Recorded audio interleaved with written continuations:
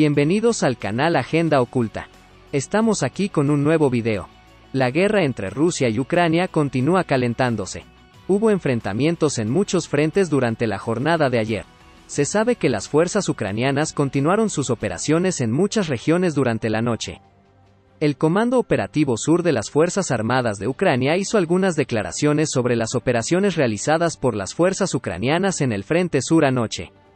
El Comando de Operaciones del Sur anunció que dos depósitos de municiones rusos fueron destruidos en la operación llevada a cabo por las fuerzas ucranianas en las regiones de Musikivka y Nova Kakhovka. Se anunció que 14 soldados rusos, un tanque T-72 y cinco vehículos blindados fueron neutralizados en la operación realizada por soldados ucranianos. Se espera que las fuerzas ucranianas continúen operando en los puntos de munición rusos. Se cree que durante los días en que a los soldados rusos les faltaban municiones y armas, la escasez de municiones comenzó a aumentar a medida que los soldados ucranianos destruían más puntos de municiones. Se anunció que los soldados del Servicio Estatal de Guardia de Fronteras de Ucrania atacaron un convoy de camiones que transportaba equipo ruso. Las tropas del Servicio de Guardia Fronteriza de Ucrania detectaron un convoy con equipo ruso en la orilla opuesta del río Siversky Donetsk se anunció que los soldados atacaron el convoy ruso con misiles antitanques y los camiones del convoy fueron destruidos. Desde el punto de observación de los soldados ucranianos, detectó que las fuerzas rusas intentaban cruzar el río. Al darse cuenta de que los soldados rusos estaban tratando de cruzar el río, los guardias fronterizos ucranianos abrieron fuego contra las tropas rusas. Se anunció que algunos soldados rusos perdieron la vida en el conflicto y algunos soldados huyeron del área. Se sabe que las Fuerzas Armadas de Ucrania han incrementado sus operaciones y llevado a cabo ataques exitosos en los últimos días. Se ha anunciado que las Fuerzas Armadas de Ucrania destruyeron el vehículo aéreo no tripulado perteneciente a los soldados rusos en el frente de Donetsk.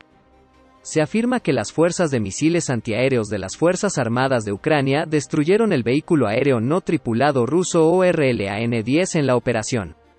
Ayer se anunció que los soldados rusos perdieron sus drones en muchas regiones. La Fuerza Aérea de las Fuerzas Armadas de Ucrania comenzó a organizar más operaciones aéreas, gracias a los vehículos aéreos no tripulados destruidos ayer y los sistemas de defensa aérea destruidos recientemente. Se anunció que la Fuerza Aérea de Ucrania realizó ayer operaciones en muchas regiones y que los soldados rusos perdieron equipos en las operaciones.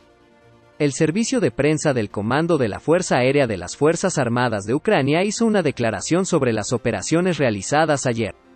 Se anunció que aviones de combate ucranianos llevaron a cabo 11 ataques aéreos ayer. Se dijo que los objetivos de los aviones de combate eran los lugares donde se encontraban los soldados y equipos rusos. En la operación organizada por la Fuerza Aérea de Ucrania, se anunció que muchos soldados rusos perdieron la vida y unos 14 vehículos blindados fueron destruidos. Se sabe que los pilotos y soldados de la Fuerza Aérea de las Fuerzas Armadas de Ucrania están operando activamente en muchas regiones. Si se necesitan ataques aéreos durante las operaciones terrestres, se espera que la Fuerza Aérea de Ucrania ayude a las regiones como fuerza de apoyo. Se sabe que la influencia de las fuerzas ucranianas en el frente aumentó con la llegada del apoyo aéreo. Se estima que la Fuerza Aérea de Ucrania ayudó en gran medida a los soldados a destruir grandes cantidades de municiones y equipos en operaciones en muchas regiones. La Fuerza Aérea rusa ha sido gravemente dañada en los últimos días. Al perder una gran cantidad de aviones de guerra, bombarderos y vehículos aéreos no tripulados, los soldados rusos no pueden recibir suficiente apoyo de las fuerzas aéreas en las regiones. La falta de apoyo aéreo adecuado hace que muchas operaciones fracasen. El gobierno ruso está trabajando para enviar nuevos aviones de combate, bombarderos y drones a la región. Se espera que la Fuerza Aérea de Ucrania aumente sus operaciones en las regiones y lleve a cabo más ataques contra las tropas rusas.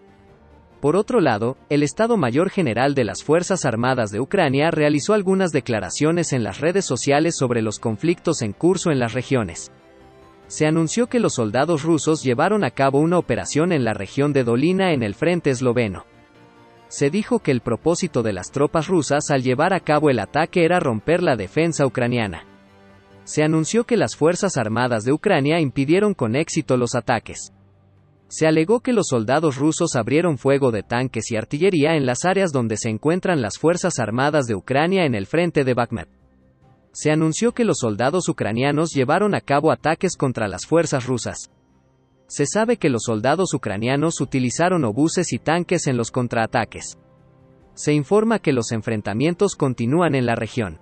En el frente de Abdivka, se anunció que las fuerzas rusas llevaron a cabo ataques en las regiones de Krasnoorivka y Pisky. Se dice que los soldados rusos están realizando vuelos de reconocimiento con drones en el área. Se anunció que los soldados ucranianos continuaron sus esfuerzos para avanzar en la región y lanzaron ataques contra las fuerzas rusas. Como resultado de los intensos ataques de las fuerzas ucranianas, se anunció que los soldados rusos fracasaron en la región y se retiraron. El Estado Mayor General de las Fuerzas Armadas de Ucrania dijo que el principal esfuerzo de los soldados rusos en el Frente Sur es proteger sus posiciones. Se sabe que los soldados ucranianos llevaron a cabo fuertes ataques en el Frente Sur y aumentaron la presión sobre la región. Se cree que las tropas rusas se han vuelto más defensivas a medida que las fuerzas ucranianas aumentan su influencia en la región. El Estado Mayor General de las Fuerzas Armadas de Ucrania anunció que los rusos perdieron la vida en los ataques de ayer. 149 soldados, 8 tanques, 12 vehículos blindados, 2 obuses, un helicóptero, 6 vehículos aéreos no tripulados y 3 vehículos pertenecientes a las fuerzas rusas fueron destruidos. En el comunicado, se afirmó que los soldados rusos sufrieron las mayores pérdidas en el frente de Donetsk. El gobierno ucraniano está trabajando duro para aumentar su influencia en el frente sur. Se cree que el trabajo del gobierno ha continuado con éxito hasta ahora. Aunque el gobierno ruso está trabajando para reducir sus pérdidas, las pérdidas siguen aumentando día a día. Además, gracias a la asistencia brindada al gobierno ucraniano, las fuerzas ucranianas tienen más éxito en la defensa de las regiones y en las operaciones. Ayer se anunció que soldados ucranianos estaban defendiendo en algunas áreas. Se sabe que la Fuerza Aérea Rusa perdió un avión Su-25 y cuatro vehículos aéreos no tripulados o RLAN-10 en la misma región en la operación de ayer. Se cree que el factor más importante en estas pérdidas fue el uso exitoso de los sistemas de defensa aérea por parte de los soldados ucranianos. Los videos del sistema Stormer HVM enviados por Gran Bretaña a Ucrania aparecieron en la región donde ayer se llevaron a cabo operaciones contra las fuerzas rusas. El video muestra a las fuerzas ucranianas utilizando con éxito el sistema. El gobierno ucraniano está negociando con muchos países para obtener más ayuda. Se espera más asistencia a Ucrania en un futuro próximo. La tensión en Ucrania sigue aumentando día a día. Hemos llegado al final de otro vídeo. Intentamos presentar las últimas novedades de la manera más objetiva. Puedes darle me gusta al video a continuación para apoyarnos. Puedes apoyarnos suscribiéndote a nuestro canal para recibir las noticias más actualizadas y objetivas. Nos vemos.